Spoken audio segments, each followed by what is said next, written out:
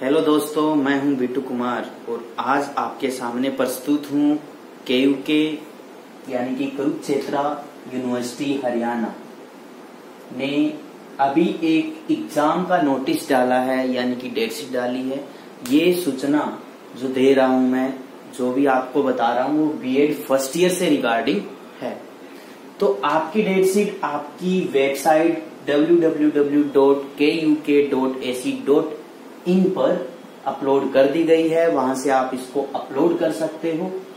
और date sheet की जो डेट है बीएड फ़र्स्ट ईयर की, वो 29 सितंबर to twenty twenty to seventh October 2020 रहेगी। ये आप इस वेबसाइट से डाउनलोड करके देख सकते हो। सेकंड एग्ज़ाम से रिलेटेड जो गाइडलाइंस है, वो भी के ने अपने वेबसाइट पे अपलोड कर दी है। आप उसे डाउनलोड कीजिए और पढ़िए। उसी से रिलेटेड कुछ जो सूचनाएँ हैं, मैं आपको देना चाह रहा हूँ कि एग्ज़ाम के कंडक्ट करवा रहा है। थ्योरी एग्ज़ाम भी और प्रैक्टिकल भी लेगा बीएड फ़र्स्ट ईयर की। अब ये बिल्कुल क्लियर हो चुका है। तो एग्ज़ाम देने के लिए सबसे पहले हमें ज़रूरत होती है रोल नंबर की की रोल नंबर ये भी के के अपनी साइट पर www.kuk.ac.in पर अपलोड कर चुका है और कुछ बच्चों का कर रहा है। तो आप वहाँ से अपने रेफरेंस नंबर डालकर जो रोल नंबर आपके डाउनलोड कर सकते हैं। फिर बात आती है क्वेश्चन पेपर की, कि क्वेश्चन पेपर कैसे होगा? जो आपका एग्ज़ाम कनेक्ट करवाया जाएगा, ठीक है? वो मिश्रित मोड में, ठीक है? ब्लेंडेड मोड में कनेक्ट करवाया जा रहा है। तो आपका जो क्वेश्चन पेपर है, वो इसी साइट पर www.kuk.ac.in पर आपके एग्ज़ाम वाले डे 10 बजे तक अपलोड कर दिया जाएगा। आप उस साइट से 10 बजे उसको डाउनलोड कर सकते हो और करोगे। और उस एग्ज़ाम की जो टाइमिंग है, वो रहेगी थ्री आवर्स कितनी रहेगी?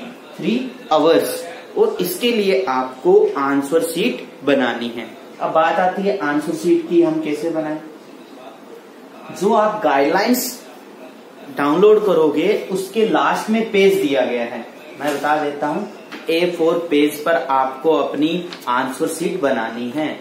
ठीक है? ए फोर पेज का मीन ये है, उसमें टोटल ट्वेंटी पेज दिए गए हैं कि आपको आपकी आंसर शीट्स केवल और केवल ट्वेंटी पेज में कंप्लीट करनी है। और ट्वेंटी पेज का मीन आप कहोगे कि ये वन पेज है या टू पेज है तो मैं बता देना चाहता हूँ कि इस पेज की वन साइड ये वन पेज माना जाएगा और उसकी बैक साइड टू पेज माना जाएगा। यानी कि ten paper sheet mean twenty page.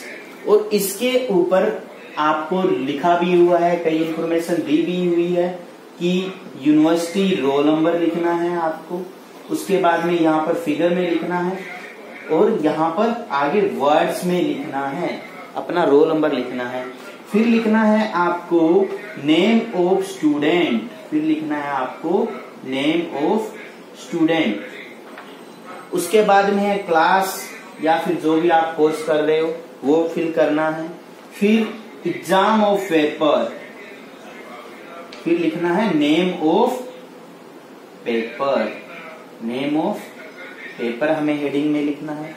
फिर लिखना है code of paper. Code of paper लिखना है। फिर टोटल नंबर। टोटल नंबर पे जो हमने रिटर्न किए हैं, जो लिखे हैं, ठीक है, वो कॉलम बनाना है और उसमें बताना कितने पेज हमने आंसर शीट में कंप्लीट किए हैं। फिर यहाँ पर सिग्नेचर स्टूडेंट के और लास्ट में डेट ये आपको हर एक सीट पर आपको ये मेंशन करना है। यानी कि एक सीट पर दो पेज माने जाएँगे और एक तरफ़ उसके आपको ये सारी डिटेल्स फिल करनी है।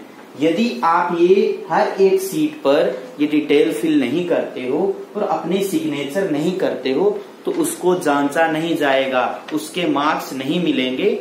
इसलिए आप जो टेन सीट बना रहे हो, इट मीन ट्वेंटी पेज बना रहे हो, टेन सीट पर आपको ये इंफॉर्मेशन डालनी है और साइन भी करने हैं। उसके बाद में आपको इसकी पीडीएफ बनानी है।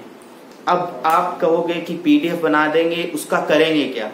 आपको वो पीडीएफ नोडल सेंटर भेजनी है। कहाँ पर भेजनी है? नोडल सेंटर भेजनी है किसके थ्रू ईमेल के थ्रू ईमेल के थ्रू आप नोडल सेंटर को वो अपनी आंसर शीट भेज दोगे। अभी तक नोडल सेंटर्स की जो लिस्ट है, वो वेबसाइट पर नहीं आएगी, आई है। और जल्दी ही इस नोडल सेंटर की लिस्ट को अपलोड कर दिया जाएगा, जिससे आपको पता चल जाएगा कि आपको अपनी आंसर शीट्स किस नोडल सेंटर को भेजनी है।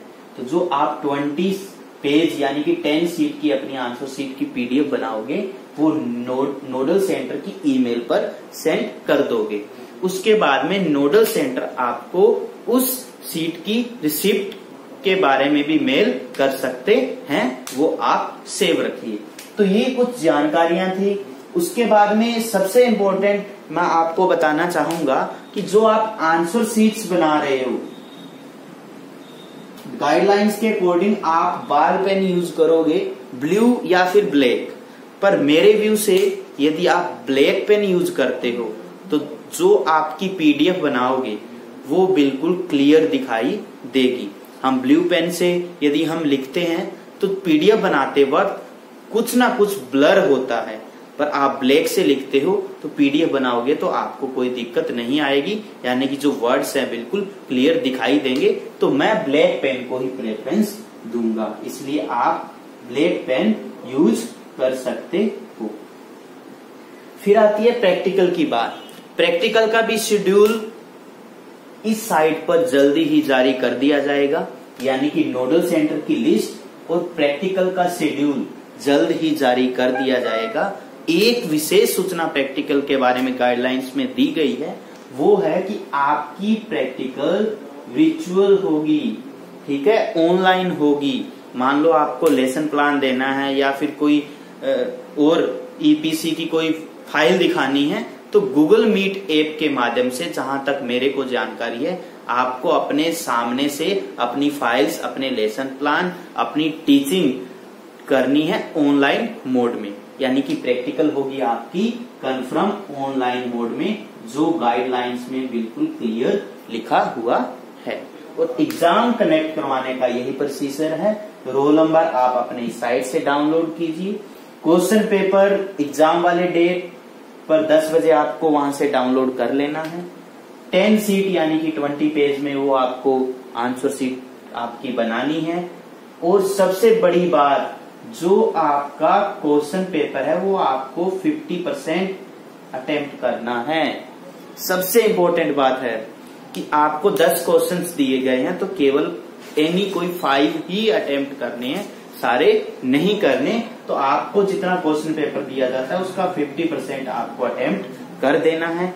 10 सीट के अंदर, यानी कि 20 पेज के अंदर अपनी आंसर सीट बना लेनी है, उसकी पीडीएफ कन्वर्ट कर लेनी है। और एक बात जो मैं आपको बताना चाहूँगा मेरी तरफ़ से, कि जो आप पीडीएफ बना रहे हो, उसको रीनेम कर देना, उसको रीनेम कर देना, और उसके साथ अपना नाम अपना रेफरेंस नंबर ज़रूर डाल देना, ताकि जो मेल है बाहर से ही पता चल जाए कि किस कैंडिडेट की है और किस रेफरेंस से संबंधित, किस रेफरेंस नंबर या रोल नंबर से संबंधित है। तो जो पीडीएफ बनाते हो आंसर सीट्स की, आप उसको रीनेम में अपना नाम और रोल नंबर या फिर रेफरेंस नंबर डाल देना और उसको नोडल सेंटर पर सेंड कर देनी है। तो ये इतनी सारी इंफॉर्मेशन थी जो मैं अपनी तरफ़ से आपको दे पाया। Thank you